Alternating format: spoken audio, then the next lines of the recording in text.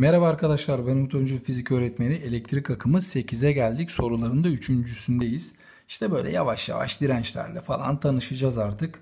Şimdi burada iki tane iletkenimiz var. Uzunlukları ve kesit alanları alanı vermemişiz gerçi. Yarı çap vermişiz. Tuzak gibi olmuş ama e, iletkenlerin dirençleri birbirine eşittir. Bu kritik. Yani e, R1 eşittir R2 diyeceğiz. Buradan kesit alan olarak burada R var ya arkadaşlar pi r kare dediğimiz için buradan biz bu kendisine A diyelim. Hani alan anlamında. Yani buradan da o zaman 4A olur. Çünkü 2R'nin parantez karesidir.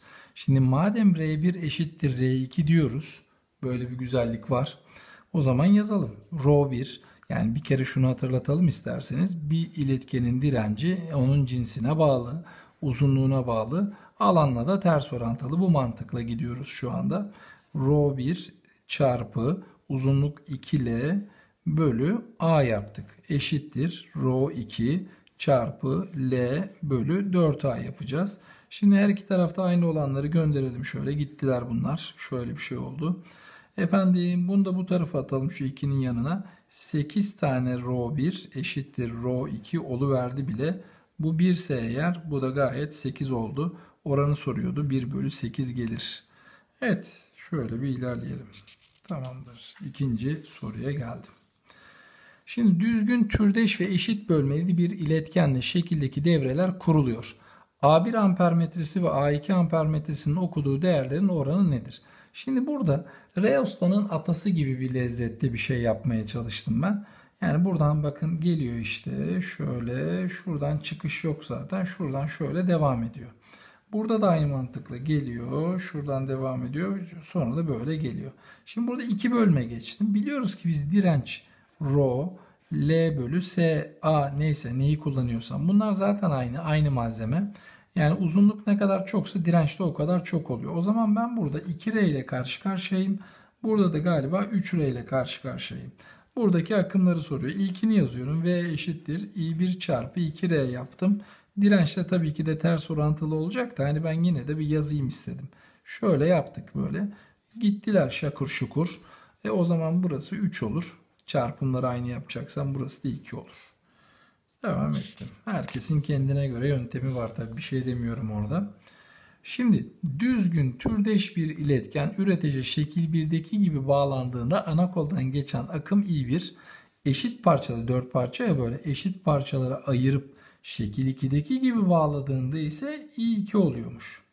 Şimdi burada ben o zaman şöyle bir şey yapayım. Bunların her birine R dersek arkadaşlar şöyle bir şey. Burada karşımızda 4R var dursun. Şimdi burada ne var peki? Burada da R var. Güzel. Şimdi dirençlerin bağlanması geldi hafiften karşıma. Bunun tabi iki yolu var. Hani 1 bölü R1, 1 bölü R2 yapabilirsiniz ama yani bunlar kolay güzelinden geldi. İki tane olduğu için çarpımları bölü toplamları yapabilirsin. R artı R diye. O zaman da buradan galiba R kare bölü uzattım ama bilerek yapıyorum bunu yöntemleri hatırlatayım diye. R bölü 2 olur.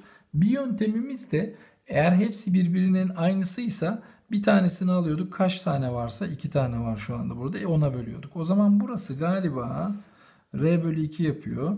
Aynı mantıkla burası da R bölü 2 yapıyor. O zaman burası galiba nefis R bölü 2 oradan R bölü 2 oradan R yaptı bile. Güzelinden. Şimdi bakarsak V eşittir I1 çarpı 4R var. Diğerine geldik. V eşittir I2 çarpı R var. Böyle bir şey. Buradan R geldi çünkü. Bunlar gittiler. Şunlar da gittiler. 4 tane i1. Bak bu sefer yaptım, farklı yaptım. Burada bunlar eşit olunca hani biraz önce hemen bunları çarpımlarını aynı yapmak için 1 verirsem 4 yaptım. Bu sefer içler dışlar çarpımı yaptım. Burada yapacağım onu. Bu 1 ise bu 4'tür diye. Oranı soruyorlar. 1 bölü 4 diye takılırım. Evet. İlerleyeyim ben de o zaman. Şöyle bir şey. Tamam. Efendim akım potansiyel fark grafiği verilen şekildeki devrede grafiği verilen şekildeki devre için 1 ve 2 bölgelerinde grafik elde etmek için Reosta'nın sürgüsünü hangi tarafa hareket ettirmek zorundayız denmiş. Burada eğimin sabit olduğunu görüyorum. Yani orada zaman vardı arkadaşlar. Bir önceki şeyde kafanıza takılmasın. Yani zamanın e, ilerliyor olmasından dolayı öyle bir şey olmuştu. Bir diğer soruyu hatırlıyor musunuz bilmiyorum bir önceki testte. Şimdi burada bir taraf i bu taraf ve yani eğim sabit. Herhangi bir şey yapmasına gerek yok. Birinci bölgede kıpırdamasın. Reosta için konuşuyorum. Kıpırdatma. Kıpırdatma. Yani sonuçta senin burada i bölü v oranın ya da v bölü i oranın sabit kalıyorsa r sabit demektir. O zaman reostayı ellemeyeceğiz.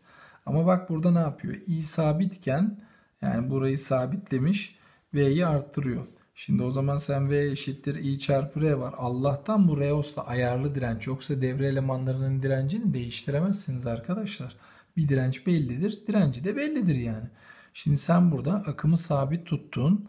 E bunu artırıyorsun. O zaman direncin de artması lazım. Demek ki Reosta'nın e, direncinin artması lazım. Şimdi buradan böyle gelip buradan böyle geldikten sonra şöyle geçti ya. Senin işe yarayan kısmın bu. Bu direncin artması lazım. O zaman biz bu tarafa doğru gideceğiz. Yani iki yönünde olacak. İki, e, evet ikinci bölge için baktığımız zaman iki yönünde hareket gerekiyor. Evet call to action. Tamam. Aynen. Aynı maddeden yapılmış uzunlukları belli LK, LK, LL olan KL iletken tellerinin akım gerilim grafiği şekildeki gibidir. Kesit alanları tellerin kalınlıkları yani kesit alanları da eşitmiş. Bir zahmet buluver demiş. Şimdi buraya baktığımız zaman ben bir kere K için şunu yaparım bak. Hemen V eşittir RK çarpı 2i. Yani IR yapıyorum yani. Böyle yazması hoşuma gitmiyor. Yani. Tam çarpmanın değişme özelliği var ama hiç gerek yok yani. 2i çarpı RK. O zaman L'ye bakalım şimdi. Orada da 2V var. O iyiymiş o da. RL var. Böyle bir şey. Bunları oranladık. Bunlar gittiler şöyle. Şimdi arkadaşlar bu içler dışlar çarpımı yapıldığında tabii ki de RL eşittir 4 tane RK verdi bile. Buna R dersek o zaman 4R oldu. Şimdi bizden istediği şey uzunluklar. E biliyoruz ki direncin hani nelere bağlı olduğunu konuşuyoruz. Ve e, rho L bölü A yapıyoruz. Şimdi bak burada böyle bir şey var. RK dediğimiz şey bu. R eşittir. Zaten aynı maddeden yapıldıkları için neredeydi o? Hmm, evet aynı maddeden yapıldıkları için dedi. Ee, uzunluklara geldi. Bu K olacak. Kesit alanı aynıymış. Onu da söyleyelim. Burası da 4R olacak. Bu da aynı. L, L bölü. Evet kesit alanı kalınlıkları aynıydı. Problem yok. Şöyle bir şey yaptık. Bunlar gitti. Bunlar gitti. Bunlar gitti. Evet. K 1 ile orantılı, L ise 4 ile orantılı. K bölü L 1 bölü 4 oran olarak geliyor karşımıza. Evet. Evet ben de 6. soruya geçiyorum. Şimdi şekildeki elektrik devresinde reostanın sürgüsü ok yönünde hareket ettiriliyor. Şimdi bakalım bir ne oluyor burada ya? Bak şimdi buradan geliyor tamam mı? Voltmetreden geçemezsin zaten. Şuradan geldin. Şöyle geçiyorsun bak.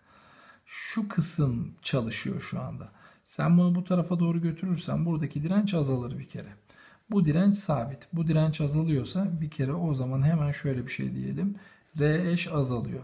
R eş azalıyorsa V eşittir I 0 yani ana kol akımı anlamında yani şuradan geçen ana kol akımı. Zaten tek bir tane kablo var da usulen I 0 dedim. Çarpı R eş dedik. V zaten sabit. Sen R eşiği azaltırsan o zaman akım artar. Güzel. Akım artıyormuş. Ampermetrede okunan değer artıyormuş. Bu bir. Geldim voltmetreye. Voltmetrede bunun direnci R üssü olsun. Voltmetrenin okuduğu değer I0 çarpı R üssü. Zaten bu okunan değer anlamında. Tamam mı? Şimdi bunun değeri sabit. Belli bir direnç var burada. Akım artarsa voltmetrenin okuduğu değer de artar. İkisi de artıyormuş. Ampermetre de artıyormuş. Voltmetre de artıyormuş problem yokmuş. Evet devam edeyim ben. Tamam. Efendim bir üretece bağlanmış Reosta'nın akım gerilim grafiği şekildeki gibidir. Reosta'nın direnci için 1 ve 2 nolu aralıklarda nasıl değişime uğramıştır? Peki şimdi baktığın zaman bak burada Reosta ile ilgili buna benzer bir tane daha yapmıştık ama burası ilginç olduğu için ben bunu da getirdim buraya. Şimdi akım sabit. Sonuçta V eşittir I çarpı R diyorum. Akımın sabit olduğunu söylüyorum. Burası sabitmiş. Siz burada bunu arttırıyorsunuz. Burası artarsa arkadaşlar R de artar. Birinci bölgede artıyor. Evet birinci bölgede R arttı. Bu dursun. Şimdi geldik buraya. Şimdi bakarsan burada V'nin hani arttığını ona rağmen akımın düştüğünü görüyoruz. Bir nasıl bir şey yapıyorsa burada artık Bak şimdi dikkat. Dikkat. Bu artıyormuş. Bu artıyormuş. Bir de bu azalıyormuş. Bak mesela R yalnız bırakırsan bak şimdi V bölü yani sonuçta i dediğin şey R olacak değil mi? Bunu arttırıyorsun. Bunu azaltıyorsun. O zaman bu oran çılgınca artıyor. Yani R burada ikinci bölgede çılgınca artıyor. Onu da söyleyelim. Evet, değişik bir soru olmuş o. Yani burada öyle eğime ezbere bakmayacağız. Yani ne olduğuna bakacaksın sorunun önce. Geldik gene bir tane Reostalı soruya. Evet, şekildeki gibi düzenlenmiş devrede sürgü ok yönünde ilerletilirse ampermetre voltmetre ne olur? Şimdi buradan geliyor bu tamam mı? Şimdi bakın voltmetreden geçemezsiniz. Onun için buradan geçmeye mahkumsunuz. Şöyle devam edeceksiniz. Hiç kaçış yok. Peki voltmetre nereye okudu? Bak voltmetre buraya okudu. Yani sen normalde nasıl seyrediyorsan öyle seyretmeye devam edeceksin. Ama bu tarafa doğru geldikçe o okunan değer artıyor. Ama devredeki direnç değişmiyor bir kere. R eşdeğer mi diyeyim artık o sabit. Devrenin yani direnci sabit. Sadece voltmetrenin okuduğu yer değişiyor. E, o zaman ampermetre sabit. Neden? Buradaki V sabit. Yani V derken epsilon EMK sabit. Direnç sabit. Yani sadece voltmetrenin okuduğu yer değişiyor. Voltmetre bu e, sürgü bu tarafa doğru geldikçe daha çok dirence hitap ettiği için voltmetrenin okuduğunu I çarpı R diye yazalım. Bu zaten sabitti. Bu artarsa o zaman V de artacaktır. Bunu söyleyebiliriz. Ampermetre sabit oldu. Voltmetrenin okuduğu değer yani ne oldu işte yani arttı diyebiliriz. Evet dinlediğiniz için teşekkürler arkadaşlar. Diğer videoda görüşmek üzere.